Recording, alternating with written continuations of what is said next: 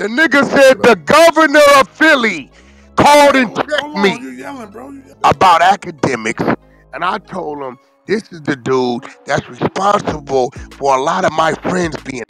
So what you saying, bro? What's good, y'all? It's your boy, the Answer Man, top of the top, man. We got some Meek Mill news. Remember when Quilly went up to No Jumper? Remember he was on Say Cheese? That's when Pound Side Pop and everybody else was going on Ak trying to smear Meek name because Meek and Ak be getting into it. Wack gonna break down how Quilly got that interview. Let's get to it. Salute. If I can help you do it a little better, great. If I can learn from you, great. You would never hear me hating on no That's that's good. That's good. human You wasn't hating on Meek Mill a couple of weeks ago, nigga. Hating what? or telling the truth. For Well, I what? hate What was the truth? Ah, well, you said I hated on Yeah, it. you had the Quilly nigga. What was he saying? What was he saying about nigga- me? the What was he saying truth was, me? As a street nigga, you should be not talking to anybody that has anything to do with law enforcement and discussions about what a type of crimes a nigga may have been involved in, provoked, or done. That's a fact. And what I don't like that if Wack did any of these little things that these niggas do that you fans of, y'all look the other way. I'm just a nigga to call it out on it. He the one put that shit up. Did nobody tell that nigga to type that for the world? The governor called me. The governor called me. academic. The gov Akademiks. The governor called me and told me to stop tripping, and I told him this is the dude responsible for you know a bunch of people getting. That sound Nigga crazy. Don't know. He said That that? sound crazy. He said Yeah, he that? said that. Yeah, that's crazy. He and put it up, Yeah, and I'm gonna call a I ain't nigga out. But yo, I ain't gonna hold you. It look like you. Bro, go look at it. Go put it. Go put it in Google. The nigga said the governor of Philly called and checked me. you yelling, bro. You yelling, bro. The governor of Philly called and checked me about Akademiks, and I told him this is the dude that's responsible for a lot of my friends being. So what you saying, bro? You're responsible for my friends being is a crazy sentence. Whoa. Okay, so are you saying me calling him out on that? Nah, that wasn't. I'm nah, not a nah, rapper. That, see, I didn't even know you called him out on that. No, I just, That's I, what I, I- just seen you next to the Quilly nigga, and the Quilly nigga just. Wait, wait, wait. Hold on. How was that hate? I had a Philly nigga say, Wack, I'm in LA. You don't know me.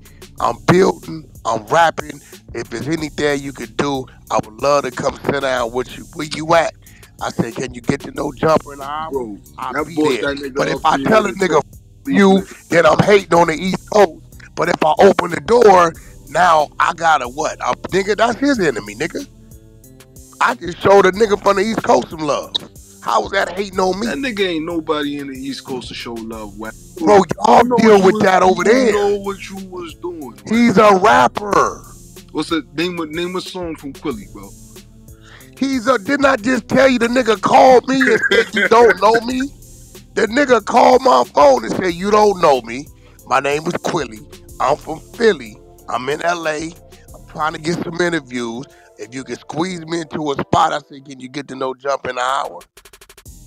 I looked up his numbers, so he had some numbers. I said, oh, you the no Diddy dude. That's you. Yeah, all right, come on up here, Adam. You want? He said, yeah, we got some questions. And I opened the door for the nigga. But if I'd have told him, nah, for, nah, homie, I can't do that, then it's like, yo, I hit Wack, Wack, you know, kind of close, shun the nigga. But I opened the door, so because you don't like him, nah, I did a bad thing. But if you'd have liked the nigga, you'd be like, yo, don't whack, got- that was I love. don't got no problem with the nigga. You know what I got a problem with? I, I, I got a problem with a nigga that try to gain fame of hating off another nigga. I don't like, know that that's nigga, like- bro. that's That's like for you. dirty magic. Is you from Philly? That's like dirty man. Are you from Philly? Nah, I'm not from Philly. ever. from Philly. Okay, New well, you deal. Listen, this what y'all do. Niggas you don't want me to. Niggas that niggas don't want me helping or doing business with.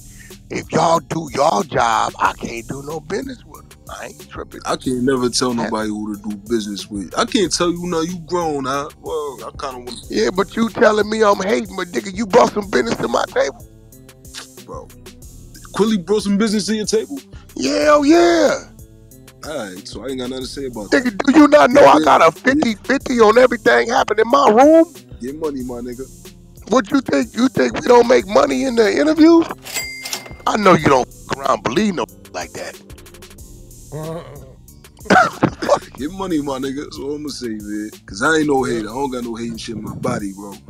You said I hated on Meek because I interviewed Quilly. Yo, How bro, about that shit. they say All right, let me. Let me Meek let me- been let me- closing doors, so Hey, people Wack. won't interview Quilly. All right, y'all. I'm a little biased, man, with the Philly thing. I ain't gonna lie. So listen, I think Wack was trying to take a dig at me. Now I got to go by what the man say when you ask him the question. Was it business? Absolutely, always included. He ain't gonna do something for nothing.